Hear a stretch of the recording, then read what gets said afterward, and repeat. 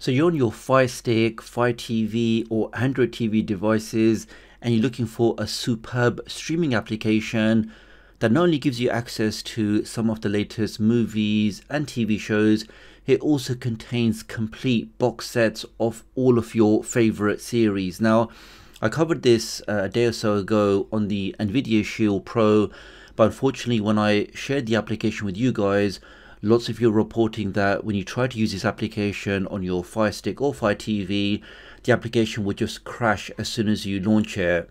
But here we can see on my device, I'm navigating around, I'm clicking on things, I'm seeing all the content, I can enjoy everything in here. And when I press home, you guys can see that I am in fact on my third generation Fire TV Cube. Now, let's forget the intros. Let me give you the exact steps you need to follow to enjoy this application on all of your devices. Now, the very first thing we need to do is create that free account, which I did mention yesterday. And that free account is just any random email address, a quick password, and you're good to go. So you can do this on your computer, on your laptop, or on your cell phone the only requirement is before you open up the website to register, ensure you made a connection to a New Zealand server. And what that just shows you there is you have an IP address from that location and that means you can now access all of the content including the registration phase. So now that I've confirmed that, let me now open up my uh, phone and here we can just see IPVanish on my phone and we've now got a New Zealand IP address. Once we have that, let me now open up a browser I can now just open up the TVNZ or NZ website. You can see the address at the bottom. I can now click on the hamburger menu. Let's now go to login. Let's click on that. And for this process, I will generate a brand new email address just so you guys can see the end-to-end -end process. Let's now click on sign up now. Let's just type in a random password.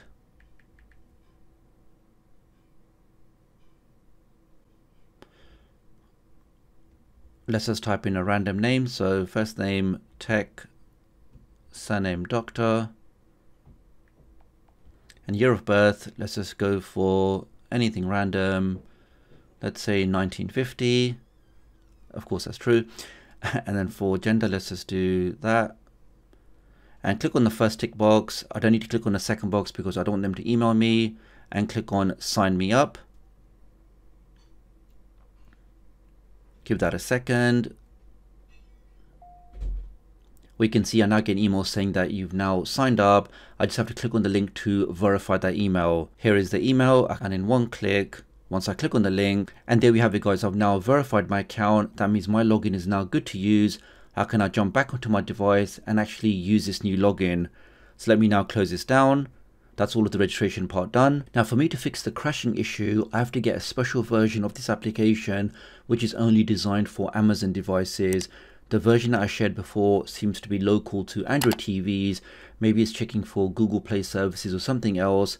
But if you have an Amazon device, your Fire Sticks, your Fire TV Cubes, your Fire TVs, for you to get that version that doesn't crash, I've disconnected my VPN I can now open up downloader and I can now make a quick connection to my website which is just tech.uk.com or you can type in the short code 53402 and click on play and this will take you directly to my website.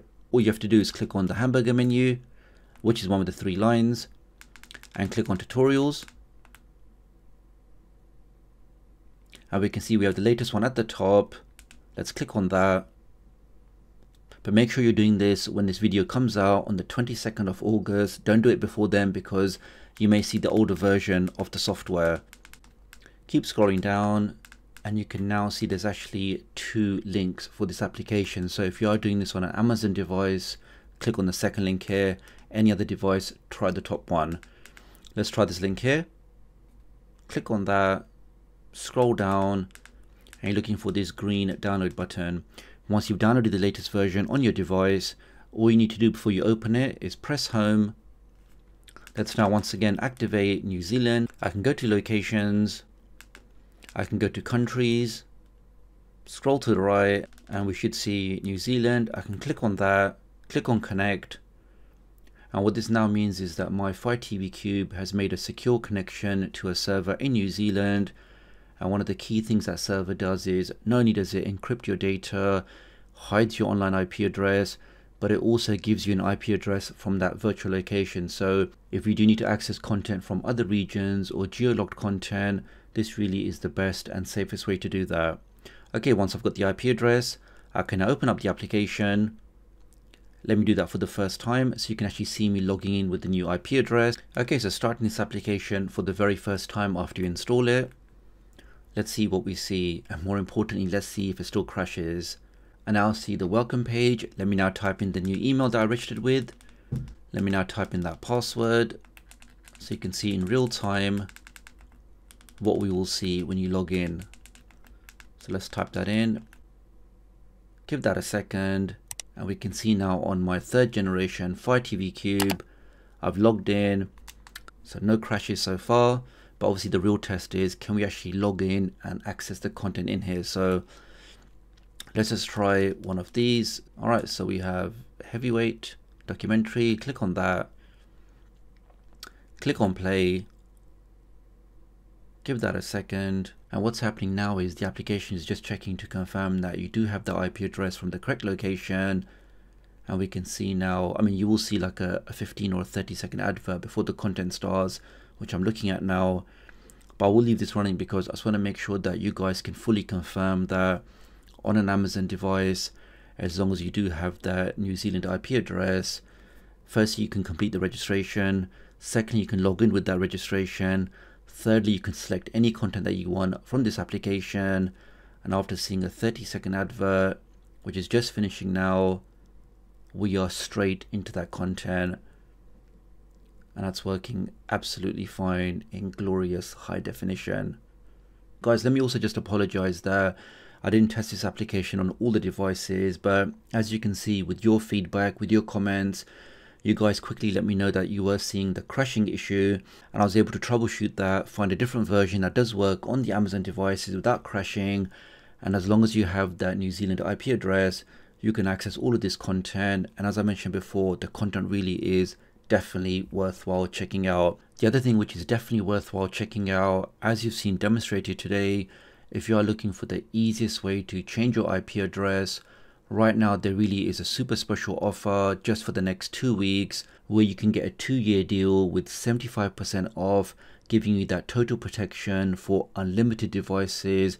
That means all of your Fire Sticks, all of your Android TVs, all of your tablets, your phones, your computers, all of your devices can be covered with a single price, giving you that peace of mind.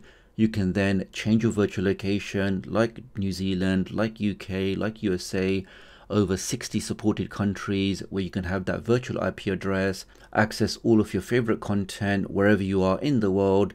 To get that at under $3 a month, I really do think this special offer is worthwhile checking out. It does help support my channel, so many thanks if you want to do that.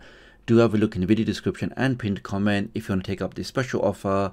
Do leave me a comment below, let me know what you think, and I'll hopefully catch up with you guys real soon. Thanks.